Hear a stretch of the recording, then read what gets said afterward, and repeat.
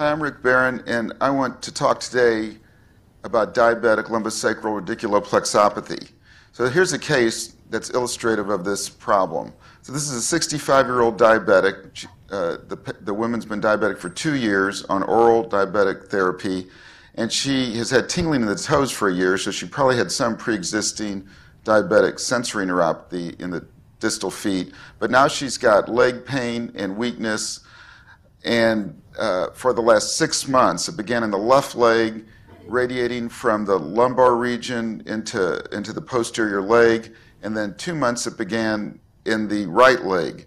Uh, she had an MRI which showed minimal degenerative disease, but she ended up having a laminectomy. And post op, she kept getting worse and she couldn't walk. She had a 20 pound weight loss over six months. She was put on gabapentin and tricyclics with no help. And at this point, a neurology consult was put in. So on exam, uh, she had quad atrophy, left more than right.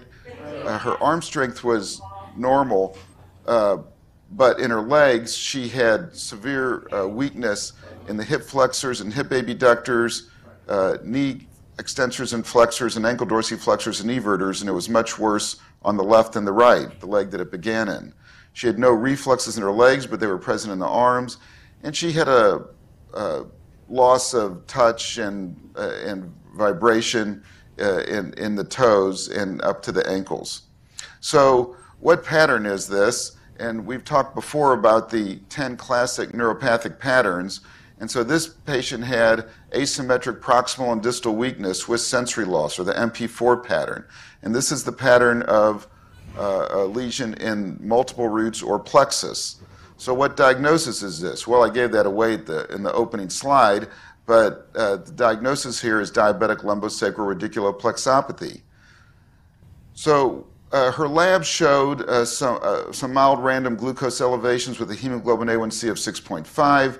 Her nerve conduction showed low amplitude peroneal and tibial uh, uh, motor potentials with some appropriate conduction, velocity slowing. Surals were absent bilaterally, and the upper extremity nerve conductions were normal. On EMG, she had fibrillations not only distally, but also in the proximal leg muscles and paraspinous. So, given that you think the diagnosis is diabetic lumbosacral radiculoplexopathy, what's the best treatment?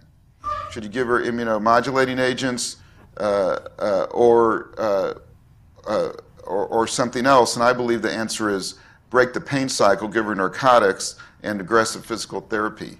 So this patient got a fentanyl patch for uh, uh, long-term pain relief, got oxycodone um, for short-term pain relief. We broke the pain cycle. Her pain began to improve. We did vigorous physical therapy, and over two weeks, she began beginning to walk, and she had slow improvement over six months. So the entity of diabetic lumbosacral radiculoplexopathy has been known uh, since the late 1800s when uh, Dr. Bruns uh, in Germany first described it. it uh, there were a number of papers about it in the 1950s by Dr. Garland as well, um, and it's been called various names. The, one of the names is diabetic amyotrophy, which I really don't like that word. What it just means loss of uh, muscle trophy from diabetes, and that's because of the atrophy. But what it really is is multiple small infarcts in the roots and plexus in an asymmetric fashion that can involve one leg and then can occasionally go to the other leg. It can occur in a, a diabetic who's either well controlled or poorly controlled.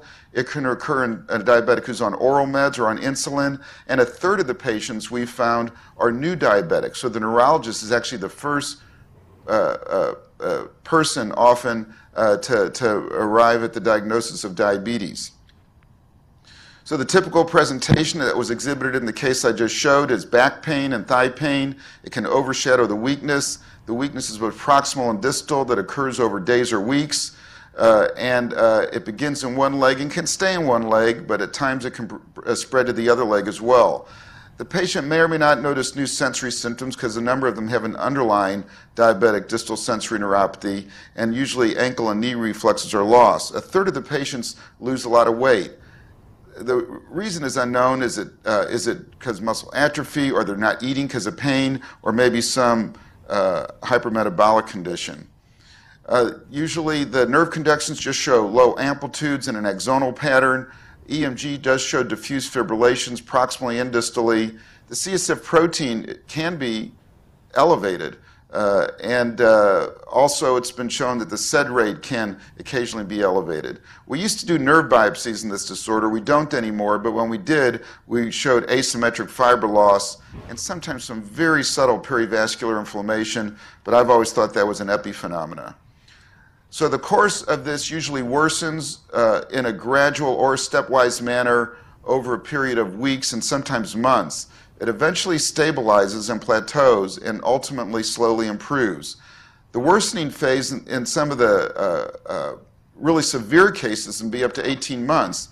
And this is a graphic out of a paper that uh, I published with the Ohio State group uh, when I was actually uh, a fellow with them, that, uh, where we described about 16 cases of rather severe diabetic lumbosacral radiculoplexopathy, and we were able to show that some of them progressed for many months before they turned the corner. Um, the bottom row in all these graphs is the leg strength, and the top row is the arm strength, which was normal. So diabetic lumbosacral radiculoplexopathy is really the neurologist's neuromuscular pattern. Um, it often seems that only a neurologist is able to make this diagnosis if they've been to many doctors, often after they've had surgery. Often a neurologist is the only uh, physician that can give the patient and their family the best recommendations on, on, on, on what to do with regard to therapy and actually what therapies to avoid, such as surgery, uh, and, and to give the most reasonable prognosis. So this is really the uh, neuromuscular disorder and the pattern where the neurologist shines and, and is very, very important in, in case management. Thank you very much.